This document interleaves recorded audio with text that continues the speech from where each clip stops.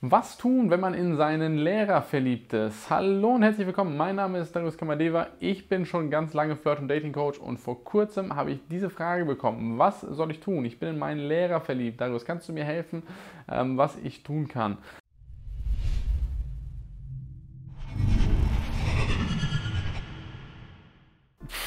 Also ganz ehrlich so, wenn du, wenn du sagst, du bist in deinen Lehrer verliebt, dann bedeutet das, dass du noch relativ jung bist sonst würdest du keinen Lehrer mehr haben.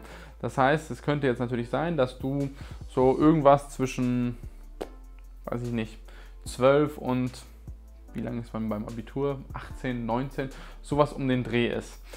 Das Problem ist, dass dein Lehrer unglaublich viel älter als du ist. Wahrscheinlich, nicht unbedingt viel, viel älter. Es könnte auch ein äh, Referendariat sein, aber der wäre dann mindestens mal 26, 27, also wahrscheinlich so rund 10 Jahre älter als du. Und das ist einfach unglaublich schwierig, denn es ist nicht erlaubt. So, es ist einfach nicht erlaubt. Ein Lehrer darf nichts mit dir anfangen. Wenn er das macht, dann riskiert er seinen Job, seine Reputation, er, er, riskiert einen Großteil seines zukünftigen Lebens, nur weil er das gemacht hat.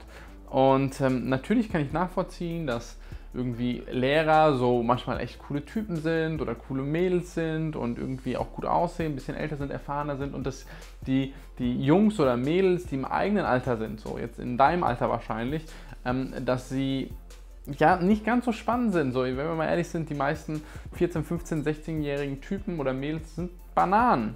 Also nicht alle, aber viele. Ich meine, das sind Kinder. Und das ist auch okay. So, das ist nicht mal schlimm.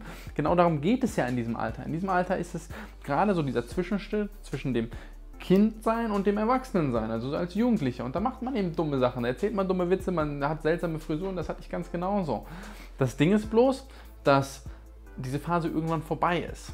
So, und irgendwann wirst du dich weiterentwickeln müssen. Und um dich weiterzuentwickeln, musst du halt gewisse Erfahrungen machen. Und diese Erfahrungen solltest du nicht mit deinem Lehrer machen. So, das ist einfach nicht in Ordnung. Dein Lehrer ist nicht die richtige Person dafür.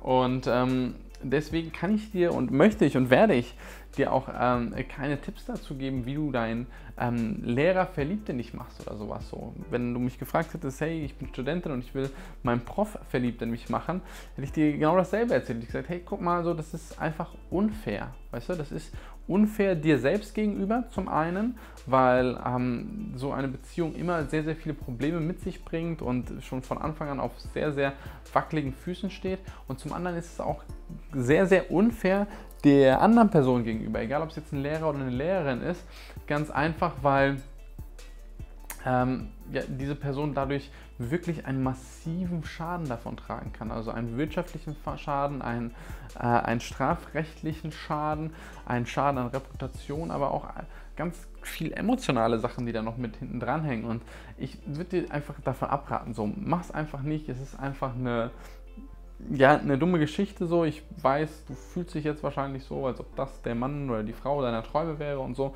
Ist auch cool, so kann ich verstehen, genieß das Gefühl, ähm, aber sei dir bewusst, dass das Gefühl vorbeigeht. So, du bist noch jung, ich bin auch noch jung, auch wenn ich wahrscheinlich zehn Jahre älter als du bin, bin ich immer noch unglaublich jung.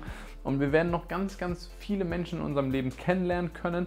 Und du wirst noch ganz, ganz viele Menschen kennenlernen können. Und sicherlich ist da der oder die Richtige dabei, der deutlich besser für dich passt als dein Lehrer oder deine Lehrerin. So, ich will dir jetzt auch nicht irgendwie den Mut nehmen oder was auch immer so. Du bist auf jeden Fall ein autarkes Wesen. Du kannst machen, was du willst. Ähm, ich kann dir nicht vorschreiben, was du tun sollst. Will ich auch gar nicht. Ist gar nicht mein Aufgabengebiet. Nichtsdestotrotz hast du mich nach meiner Meinung gefragt. Deswegen wollte ich so ehrlich und fair sein, dir meine ehrliche Meinung zu sagen. Und die ist halt einfach, mach's nicht. So, es bringt einfach nicht viel. So, es ist, selbst wenn dein Lehrer der heißeste Typ der Welt ist oder das heißeste Mädel der Welt ist, so, es ist einfach blöd so. Es bringt nichts. Es gibt Lehrer in Amerika, die sind dafür ins Gefängnis gegangen. Es gibt Lehrer in Deutschland, viele, viele Lehrer, die haben deswegen ihren Job verloren. Ähm, auch Lehrerinnen. Und das ist es einfach nicht wert. So. Das ist einfach zu kompliziert. Ähm, falls du aber ganz normale Männer oder ganz normale Frauen kennenlernen willst, die jetzt vielleicht nicht deine Lehrer sind oder die vielleicht Lehrer an anderen Schulen sind oder Professoren an anderen Schulen sind, äh, an anderen Universitäten, dann ist es eine andere Baustelle, kannst du machen. Dafür am besten meinen Kanal abonnieren und mir die anderen Videos angucken. Wobei, das mit Lehrern ist halt immer so eine Sache. So, es kommt darauf an, wie groß der Altersunterschied ist. So, wenn du jetzt 14 bist und der ist 40, so, dann passt das einfach nicht. So, das ist nicht in Ordnung. Wenn du jetzt allerdings 18 bist und er ist 24 und er ist Referendar an einer anderen Schule, wenn du Spaß dran hast, mach das. Ähm, in diesem Sinne, schreib mir in die Kommentare rein, was du davon hältst, was du noch für Fragen hast und wir sehen uns in einem der nächsten Videos. Bis dahin, alles gut.